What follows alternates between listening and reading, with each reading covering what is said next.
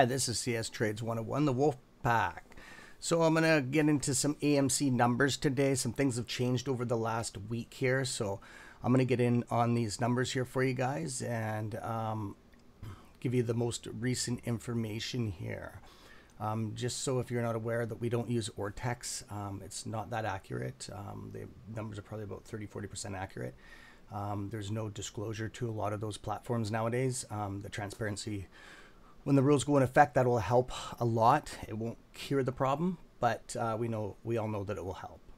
So, um, ticker symbol AMC Entertainment Holdings. Um, the short volume of AMC is 61.98. That is the volume. Okay, that's not the short um, of float. Okay, we'll get into that in a minute.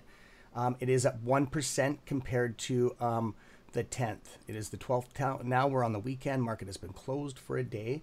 So it always reports the previous day. Um, we closed at uh, $14.30. Um, the SSR is off and we went down 6.66%. And I just wanted to clarify that the lower the numbers go, the, the dollar value, the safer that we are.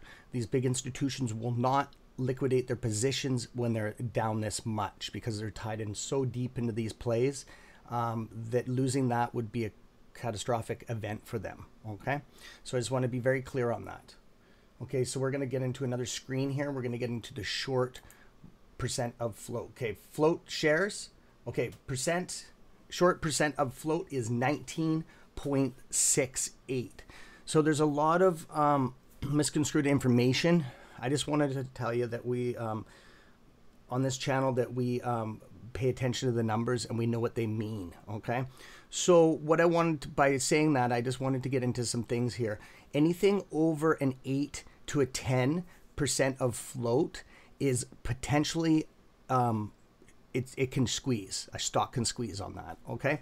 So we're way above that. We're almost double. We're almost 20%, 19.68% to be, and rounded up, it would be 20. So we are in a very strong position right now. And um, I just want to be very clear on that. And Wolfpack, keep it real. See you at market open. Peace.